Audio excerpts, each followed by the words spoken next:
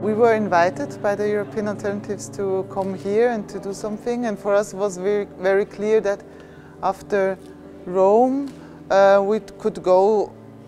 on a first mission to Palermo because Palermo is of course the, the city with the harbor where the people, the migrants are arriving. And uh, for us it was, it made very much sense to come here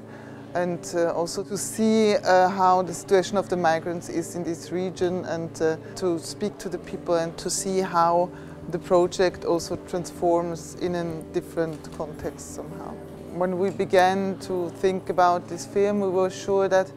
uh, Jesus and the apostles should be represented by migrants living here in the region and also by migrants that are fighting for their rights. Yvan Sagnet is of course protagonist uh, in this uh, field and um, we met him and we asked him to represent uh, Jesus in our film and uh, from the beginning this was a very very logic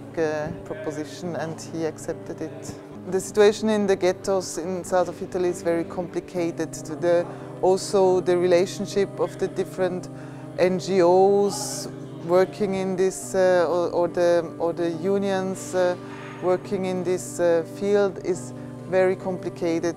I mean, also between amongst the activists uh, is a lot of competition and what we can do is just to open a utopian space where um, suddenly these people begin to talk again and they forget a bit about their conflicts that they have uh, in, uh, in, the, in, this, in their political struggle somehow. We can talk about uh,